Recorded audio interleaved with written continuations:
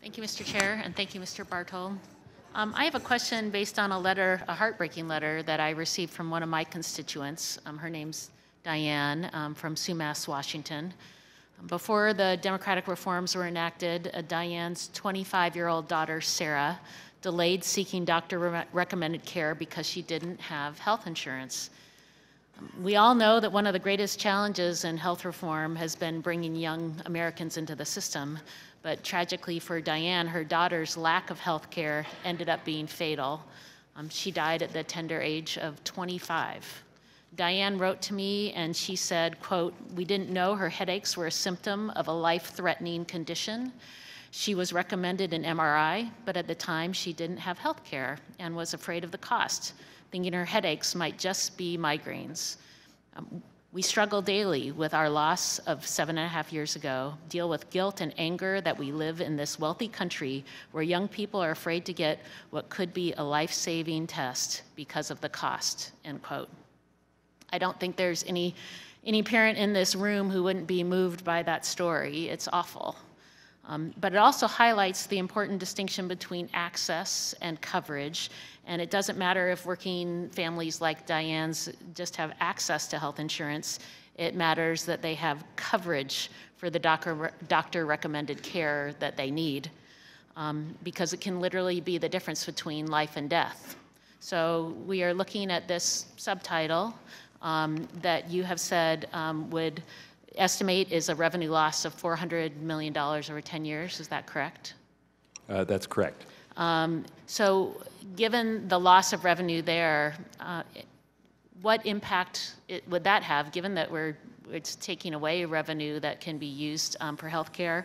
Um, what impact does that loss of revenue have on coverage for families like Diane's?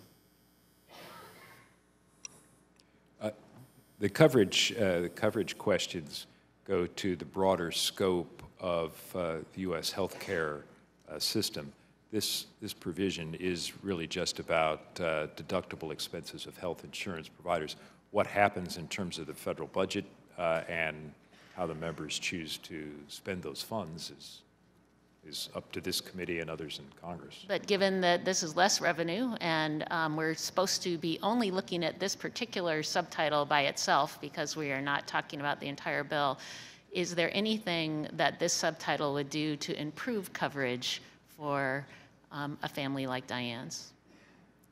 Um, I uh, uh, really shouldn't comment on the overall coverage effects of how this weaves into the entire package. Again, that's part of the analysis that's still, uh, still forthcoming. So we have a, a, piece of legislation that we're talking about that just um, reduce, cause, creates a tax break for insurance companies, um, reduces revenues by $400 million, um, your number, and um, does nothing to help families across our country, does nothing to help provide coverage. If anything, probably undermines that by reducing the revenues that are available to support those families. Um, that's very disappointing that we're only talking about a tax break and we're not talking about families and coverage at all. Um,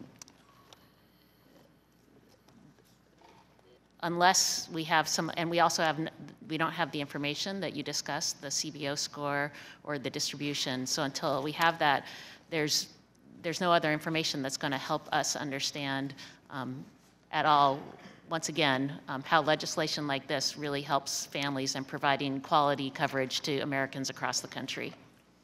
Well, as I did report earl earlier, the, uh, uh, my colleagues working with the CBO and the CBO uh, has uh, said that they uh, will release their estimate as soon as it's ready.